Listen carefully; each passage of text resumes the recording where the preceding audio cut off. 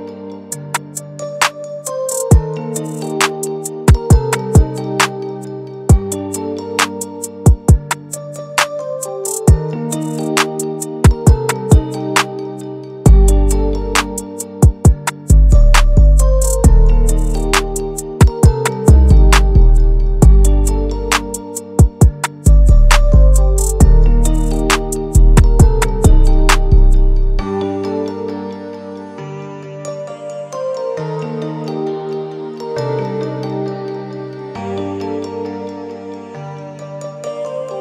the Tangler's version today.